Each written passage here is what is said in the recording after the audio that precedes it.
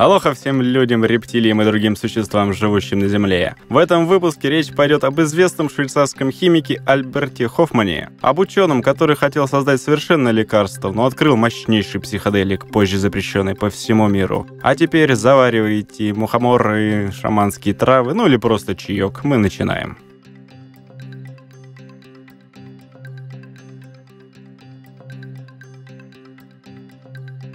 Альберт Хоффман родился 11 февраля 1906 года в курортном городе Баден на севере Швейцарии. Он был старшим из четырех детей. Отец мало зарабатывал, трудясь слесарем на местной фабрике. Семья жила на съемной квартире. Большую часть своего свободного времени будущий ученый проводил на улице, гуляя по зеленым лесам и дыша кристально чистым воздухом. С самого детства природа его очаровывала. Альберт стремился понять суть всего живого. Он отправился изучать химию в университет Цюриха, так как хотел исследовать мир на уровне, где энергии и вещества объединяются, чтобы создать жизнь. Его основной интерес был в химии растений и животных. В 1929 году, когда ему было всего 23, Хоффман получил докторскую степень за исследование структуры хитина. Затем ученый устроился на работу в фармацевтическое подразделение лаборатории Сандос в Базеле, начав изучать лекарственные растения как часть программы по очистке и синтезу активных компонентов для использования в фармакологических целях. Конкретно он занимался исследованием морского лука, но больше всего его заинтересовали психоделические свойства спорыньи, которую использовали средневековые лекари.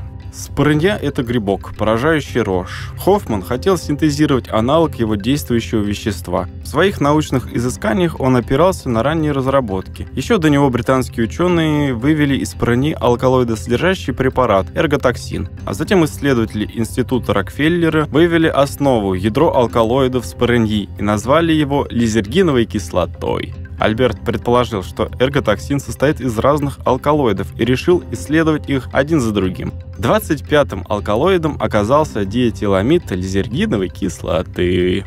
Так, в 1938 году Альберт Хоффман впервые получил ЛСД.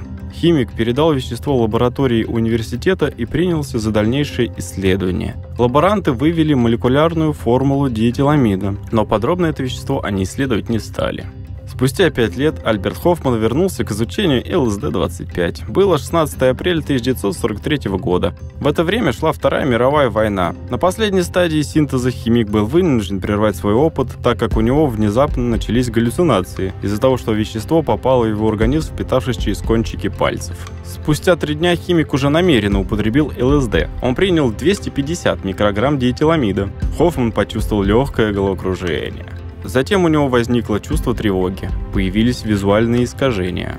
Воздействие наркотика постепенно возрастало. Вскоре эффект стал настолько силен, что ученый уже не мог составлять связанные предложения. Позже в сопровождении коллеги химик отправился домой на велосипеде, так как автомобиля не было из-за ограничений военного времени. Пока доктор ехал, ему казалось, что он не может сдвинуться с места, хотя на самом деле ехал он быстро. Все окружающее напоминало ему ожившие картины Сальвадора Дали. Дорога дрожала, а дома покрывались рябью и деформировались. Приехав домой, ученый попросил ассистента вызвать ему семейного врача и взять у соседки молока. Он выбрал его в качестве общего противоядия при отравлениях. Головокружение и ощущение потери сознания стали настолько сильными, что Хоффману пришлось лечь на диван. Окружающий мир еще более ужасающе преобразился. Все в комнате начало вращаться, а предметы мебели приобрели гротескную угрожающую форму.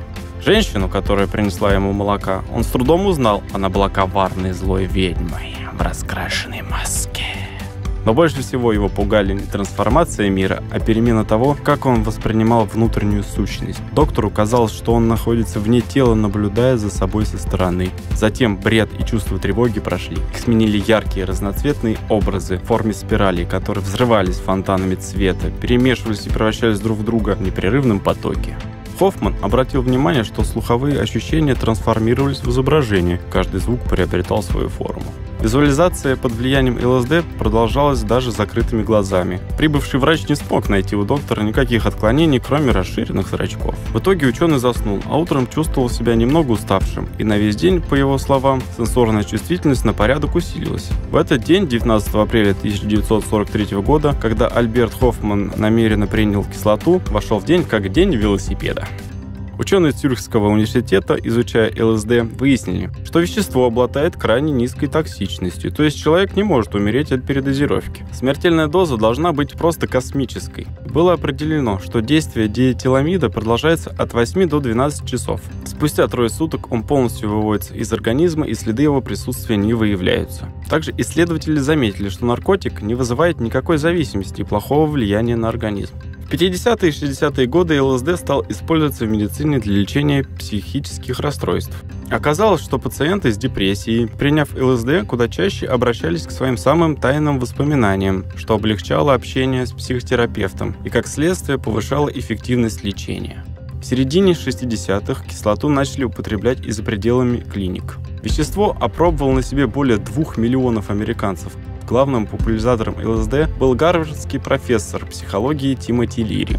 Харизматичный преподаватель угощал наркотиками избранных студентов, предварительно не уведомляя их об этом. Вскоре его выгнали из Гарварда со скандалом. Сам Хоффман в это время завязал дружбу с Олдосом Хаксли. Тот в 1963 году, умирая от рака горла, попросил свою жену сделать ему инъекцию ЛСД, чтобы облегчить страдания.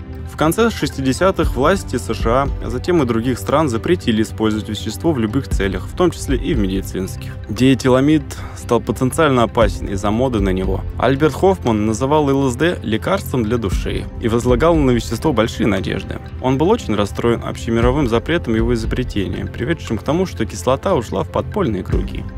Ученый изучал не только алкалоиды спореньи. Будучи директором отделения исследований природных лекарственных средств лаборатории Сандес, в 1958 году Хоффман первый в мире синтезировал псилоцибин, активное вещество галлюциногенных грибов.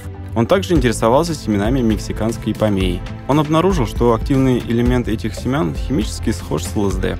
В 1962 году ученый вместе с своей женой Анитой отправился в Мексику для изучения растений, известного как шалфей-предсказатель. Хоффман исследовал его, но так и не смог выделить его активные компоненты. В 1971 году ученый вышел на пенсию. За период своей карьеры Альберт Хоффман написал более 100 научных статей и стал автором и соавтором множества книг. В книге «ЛСД. Мой трудный ребенок» он расписал подробности своего велосипедного путешествия. В свой столетний юбилей в 2006 году ученый стал центральной фигурой международного симпозиума, посвященного ЛСД и привлекшего большое внимание СМИ к его открытию. Альберт Хоффман и его жена, которая умерла незадолго до его кончины, вырастили четверых детей. Сам химик скончался от сердечного приступа в своем доме под Базелем 29 апреля 2008 года. Ему было 102. В своей семье он оказался единственным, кто дожил до такого возраста. Старик не пользовался слуховым аппаратом, не носил очков, внятно разговаривал, имел острый ум, всегда был улыбчивым и гостеприимным. Ну вот история окончена. Но помни, что конец — это только начало. А начало чего — решать уже вам. Всем вселенского катарсиса. Пока.